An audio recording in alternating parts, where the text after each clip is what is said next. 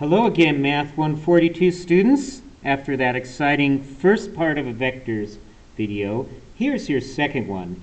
And you notice we talked about adding and subtracting and multiplying by scalars of vectors. Now we're going to talk about how to multiply vectors. And that's a little difficult. We have to define two new products. And the first product we're going to define is the dot product. So how do you multiply two vectors? Well, one useful product is called the dot product, and the dot product is given by this definition. The dot product between two vectors u and v is given by u dot v equals the magnitude of u times the magnitude of v cosine theta, where theta is the angle between u and v, and theta, theta is between 0 and 180 degrees. So, for example, let's suppose that the magnitude of u is 5 and the magnitude of v is 10 and theta is 60. What is u dot v? Well, u dot v equals the magnitude of u times the magnitude of v cosine of 60 degrees. Now, the magnitude of u is 5 and the magnitude of v is 10 and a cosine of 60 is 1 half, right? So that's going to be 25. And you say, wow, I've just multiplied two vectors. A good question is, why would I care? What does this mean? We'll get to that in a minute as the idea behind this dot product. But first, I can hear, even though I'm far away, that you guys are banging your fists on the table and are saying, wait, I need proof. Okay, we're usually not given the magnitude of two vectors and the angle between them. So it's nice to have a formula to derive the vector formula components to calculate the dot product. So we're going to derive it now using the diagram below and the law of cosines. So let's suppose this is the origin. So you have the y-axis right here and the x-axis right here. And so let's call vector v v sub 1, v sub 2, and vector u u sub 1 and u sub 2. Okay? Now, you can think about this vector from here to here as u minus v or v minus u, whichever one you want to use. I'm going to use u minus v. So this vector right here is u minus v. Now, this is a triangle, and the, the length of this side is the magnitude of u, the length of this side is the magnitude of v, and the length of this side is the magnitude of u minus v. Now, by the law of cosines, you know that c squared equals a squared plus b squared minus 2ab cosine of c. Now, magnitude of A, A is the magnitude of U, we'll say, all right? And B, so I'll call this A. And B is the magnitude of V. And this is point C right here in the law of cosines. So I'm going to use theta for that. Magnitude of U, magnitude of V cosine theta. Okay?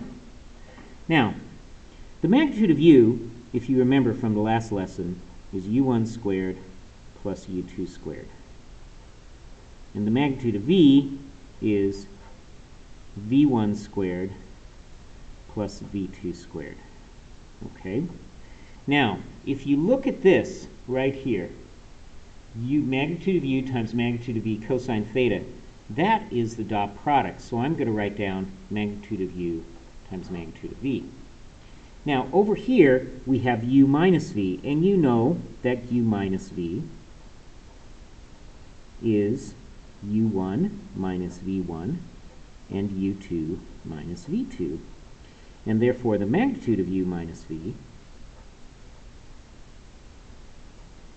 is the square root of u1 minus v1 squared and u2 minus v2 squared.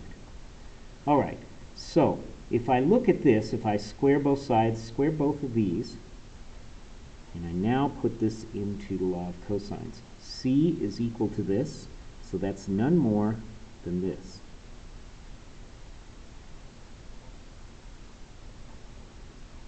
We have determined that u squared is this, u1 squared plus u2 squared. And v squared is this, v1 squared plus v2 squared, minus 2 times u dot v. Okay, again, magnitude of u times magnitude of v cosine theta. This ends up being u1 squared minus 2 u1 v1 plus v1 squared. Nothing like multiplying that out, right? u2 squared minus 2 u2 v2 plus v2 squared equals all of this. Oh, isn't this algebra just wonderful? Don't you love it?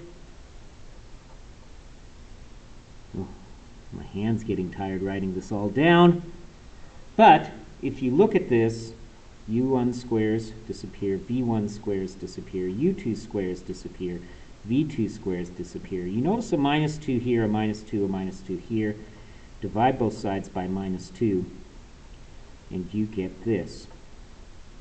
And this is the useful formula for the dot product right here.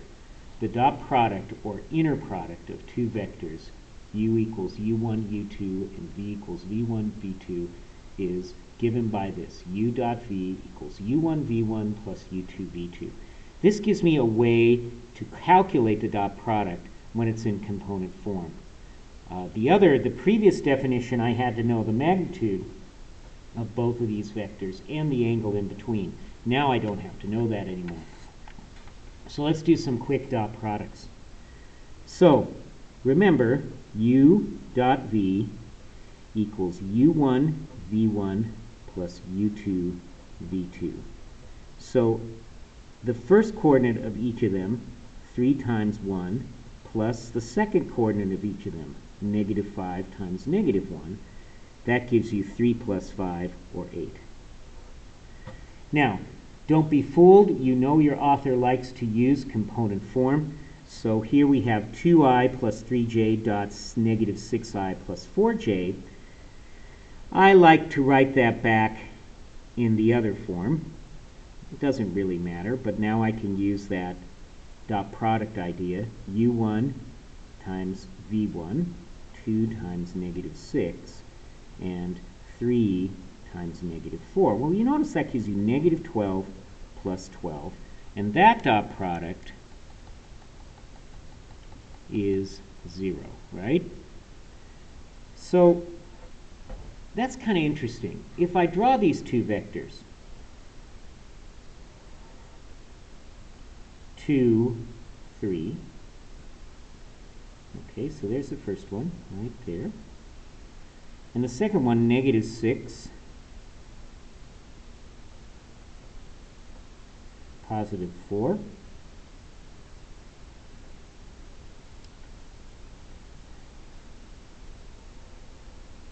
It sure looks like these two vectors are perpendicular, and it turns out that's correct. One of the properties of the dot product we want to look at is that if the dot product between two vectors is 0, then these are perpendicular. Now, we use the word orthogonal to mean perpendicular when we're talking about vectors. So here's a theorem. The dot product between two non-zero vectors is 0 if and only if the vectors are orthogonal.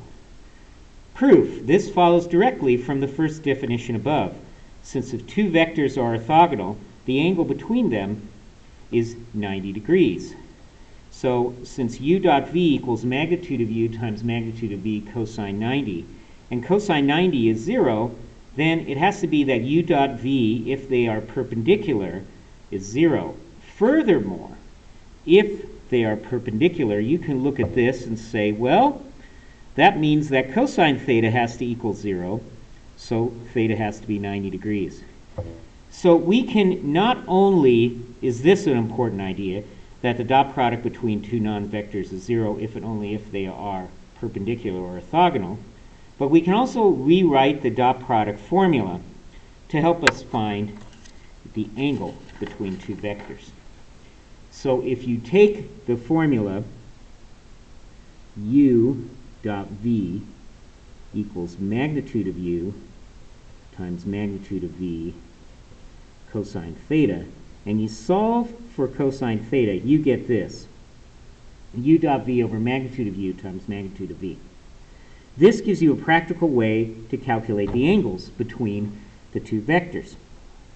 So let's take a look at this idea. Let's look at the vector u, which is negative 1, 3. So I'll just draw it for you right here. And the vector v, which is 2, 4.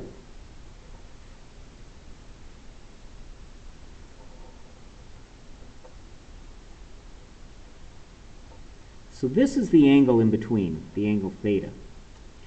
So I'm going to calculate the dot product. u dot v equals negative 1 times 2 plus 3 times 4. That equals negative 2 plus 12, or 10.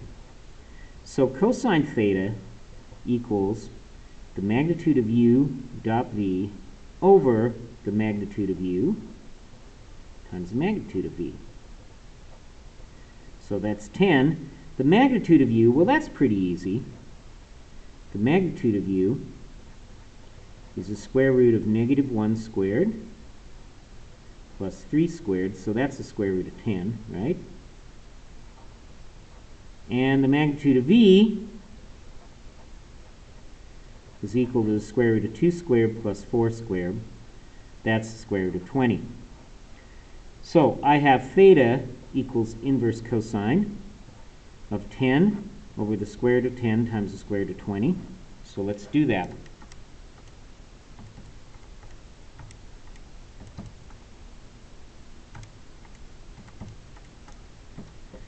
If I do that all, I get that theta is 45 degrees.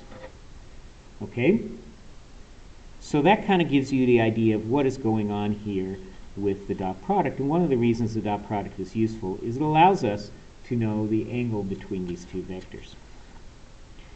Another useful construction with the note vector is the notation of projection. Consider the drawing below. Here's a vector u and another vector v. The vector u is the sum of these two very dark, bold vectors I have here. This one is called the projection of u onto v. And this one is called the orthogonal projection of u onto v. Now, your book may not use these notations. They are pretty traditional, but they may not use those notations entirely. Um, they might say that this is the vector u and this is the vector v, and you want the component of u parallel to v and the component of u perpendicular to v. But those means the same thing. So here's the idea behind this. If this is the angle in between them, theta, okay, it's not too hard to see, okay, that this makes a right triangle right here. So I would like to find the distance from here to here. Well, you know that cosine theta, and I'll call that distance x, equals x over the magnitude of u. Or x equals the magnitude of u cosine theta. Now, a little shenanigans here. It's not too hard to see that x equals the magnitude of u times the magnitude of v cosine theta divided by the magnitude of v. So I just multiplied and divided by the magnitude of v. Now why did I do that? Because what is this top? This top is u dot v, right? Over the magnitude of v. Now this is a number this just gives me the length of this vector. To calculate this vector, you need the unit vector in the direction of v. So the unit vector in the direction of v is v over the magnitude of v. And then I'm going to multiply that by this number, this scalar here, x, and this gives me my formula for the projection. The projection of v onto u, u onto v, okay, I typed that in wrong, is u dot v, okay, over the magnitude of v squared times v. And the orthogonal projection is just the subtraction between these two, since these two add up to this. Now, let's take a look at how I do this. So, here is an example. Here is the vector u.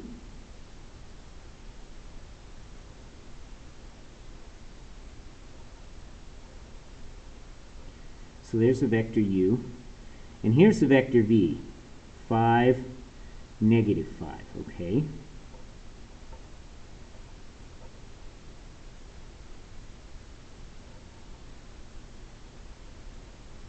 So we want to project this onto this. So I want the parallel one, which is this right here, and I want the perpendicular one, which might be this right here, okay? So for the parallel one, all right, that's going to be u dot v over the magnitude of v squared times the vector v. So u dot v is 6 times 5, or 30, plus 2 times negative 5, which is negative 10, over the magnitude of v, and the magnitude of v is 25 plus 25, or the square root of 50,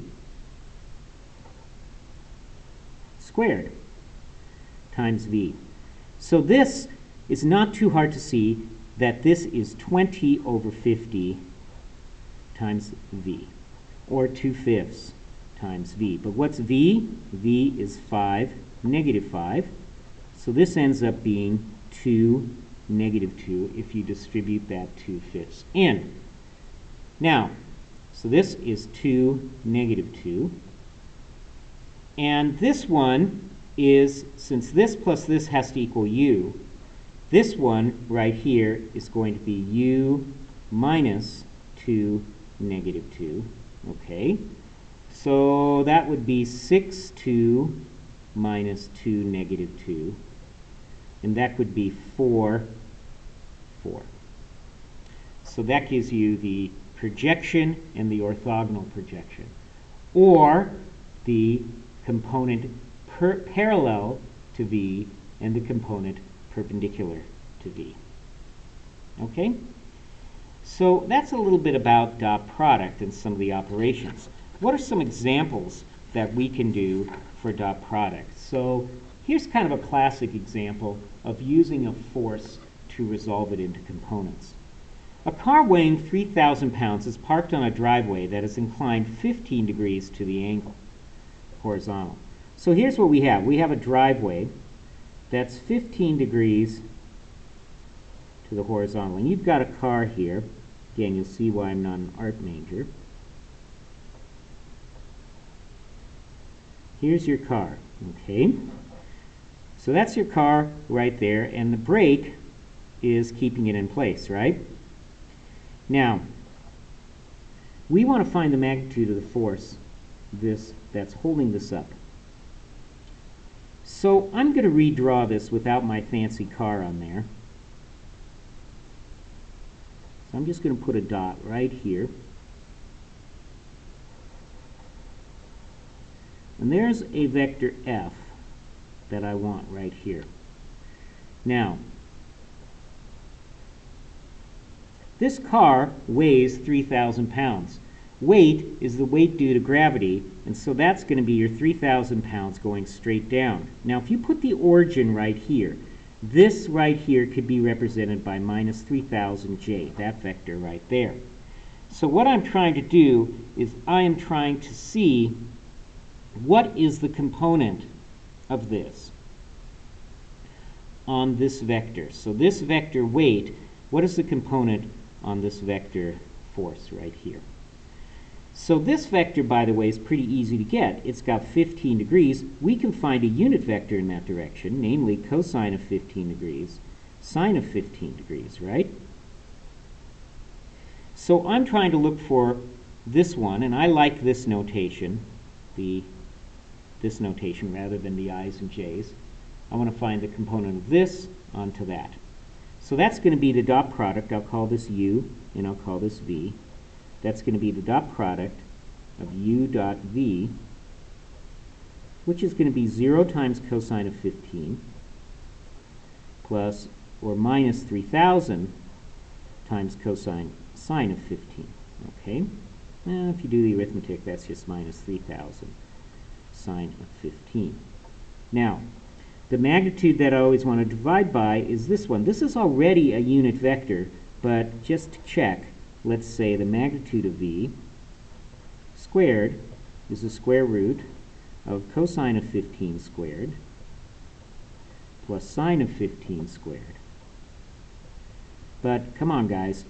This is Big Daddy, right? So this is just minus 3,000 sine of 15. So that is my magnitude there. And I want to take that and I want to multiply it by my vector v, which is cosine of 15 degrees, sine of 15 degrees. That is the force that is right here. So this force, by the way, would be going this way, this vector right here, this force, this projection, would go on there and would be going this way. So you could change the sign and have it go the other way if you want to think about what force would I need to do this. But I want the magnitude of the force, okay, um, that is required to prevent the car from rolling down the driveway, okay. Um, so to do that, I will just find the magnitude of this vector right here. So that's going to be, since this vector is a unit vector, that's going to be none other than 3,000 times sine of 15 times cosine 15 squared plus 3,000 times sine of 15 sine of 15 squared. But remember, that's a unit vector. Those two things, this is going to be my component right here. So I will do that, 3,000 sine of 15 degrees, and that's going to be 776.5 right there. Okay, we have that right there as my force. That many pounds of force is needed. Now, this one, the magnitude of the force experienced by the driveway, would mean I'm looking for what's going on the driveway here, and that's the perpendicular force. So in that case, I would take this vector right here,